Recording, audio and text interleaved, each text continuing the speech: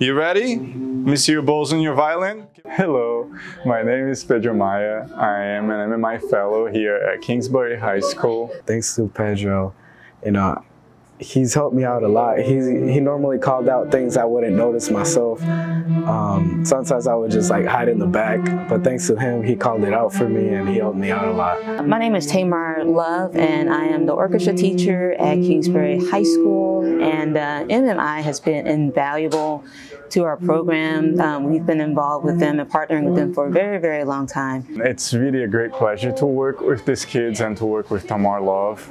Pedro in particular has been instrumental in providing students with uh, group lessons and individual lessons and just building beautiful relationships with the students. They have a, a big Hispanic community here, so I feel like I have been very helpful with some of the students who did not understand English um, that well in the beginning of the year. By now they're already getting everything, but um, I feel like I can help them with technical words that they don't really understand and I can help them improve their technique and being better musicians and they feel better in class because they feel like they belong when they understand things. Pitch.